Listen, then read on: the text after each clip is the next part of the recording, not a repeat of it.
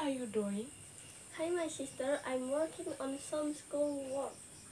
You are so busy, right? Yeah, I'm so stressful. Can I help you to show off the dart? Really? You must be kidding me.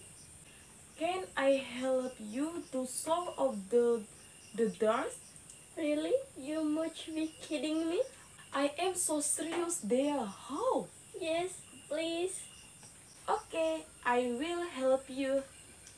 Thank you so much, my sister. I I appreciate your help. You're welcome. By the way, what is the deadline for assessment? Assessment?